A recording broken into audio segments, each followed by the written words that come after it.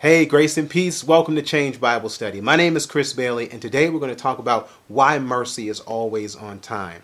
But before we go there, in Exodus 20, let's pray. Lord, we do want to pray that you will speak to our hearts and help us to understand your mercy to us. In Jesus' name, amen. Amen. It's a beautiful thing to think about when you go to Exodus chapter 20, which is normally known as the chapter of the Ten Commandments. The, the beauty, the, the, the chewy, sweet center of the revelation of God's character and His law is mercy. Because look at what it says there in Exodus 20, beginning in verse 5. Thou shalt not bow down thyself to them, nor serve them, for I, the Lord thy God, am a jealous God, visiting the iniquity of the fathers upon the children, unto the third and fourth generation of them that hate me, and showing mercy unto thousands of them that love me, and keep my commandments. Showing mercy is God's showcase. It is what he loves to do. It is what he desires to do. Mercy is not an afterthought. In fact, it's the it's the the discipline. It's the the visiting of iniquity. That's the afterthought. That's something that is brought about by virtue of our condition. But by virtue of who he is, it is mercy. It is the not giving what sinners deserve, and then the grace of giving what sinners don't deserve. That truly is who he is. In fact, when you go forward, look in Deuteronomy. Deuteronomy chapter 5, beginning verse 9 and 10. He says again, Thou shalt not bow down thyself unto them, nor serve them. For I, the Lord thy God, am a jealous God, visiting the iniquity of the fathers upon the children, unto the third and fourth generation of them that hate me, and showing mercy unto thousands of them that love me and keep my commandment. Here is the beautiful repetition, the righteous repetition. It's repeated because he does not want us to miss the fact that he is merciful. It's important for us to see this repetition because it's not that the Lord was not heard. He's not stuttering. He's wanting to make sure you don't miss it. The Father is merciful. How merciful? Let's look back in the Word in Isaiah chapter 55 and verse 7. Let the wicked forsake his way, and the unrighteous man his thoughts, and let him return unto the Lord, and he will have mercy upon him, and to our God, for he will abundantly pardon.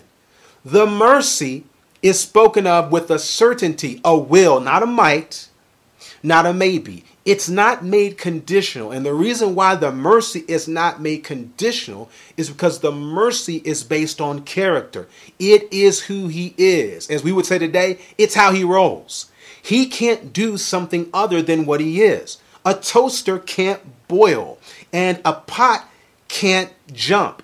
They don't do those things because that's not what they were made to do. But our Father, He is merciful because it's who He is. It's not an afterthought, it is his intent. In fact, when he says, I'll be merciful to the wicked, it's for us. It's for those who've not been on point. It's for those who don't deserve. Remember, that's the very definition of mercy not giving one or giving someone what they deserve. Someone who's been found guilty, and rather than offering them guilt, you give them grace.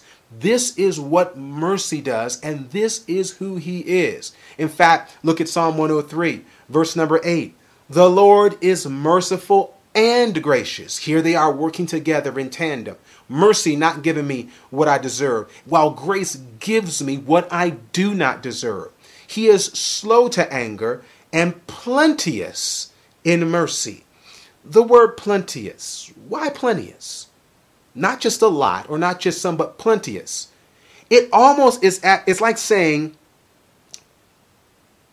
you won't run out.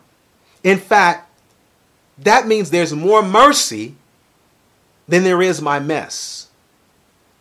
That means that there is more grace than there is my going astray.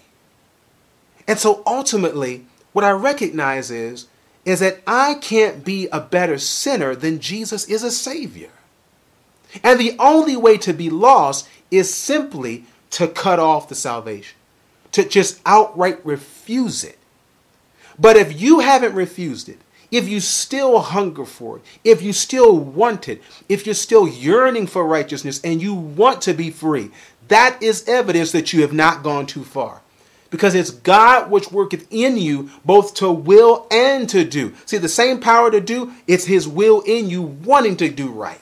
And if you've got that desire to do right, that's the evidence that God is waiting for you to accept Him so that He can do right in you. There's hope. There's salvation because not of where you are, but because of who He is. He is merciful, gracious, plenteous in mercy. So finally, Psalm 130, verse 7 let Israel hope in the Lord. For with the Lord there's mercy, and with him is plenteous redemption. Our hope is in the Lord's mercy and not in whether or not we can get it. Our hope is in the Lord's mercy and not in whether or not we can earn it. Our hope is in who He is, that He can change who we are. Hope in the Lord today. Stop thinking about what you can do. Stop thinking about what you've done. Hope in the Lord. When we start hoping in the Lord, we'll start hopping in the Lord. When we start hoping in the Lord, we'll be happy in the Lord. But it won't be until we first hope in the Lord. Remember what the Bible says. For then, as much as God gave them like gifts as he did unto us who believed on the Lord Jesus Christ, what was I that I could withstand God? Why then they heard these things, when they heard these things, they held their peace and glorified God, saying, Then God had also to the Gentiles granted repentance unto life. Mercy is for all. Mercy is for all, meaning that mercy is for me.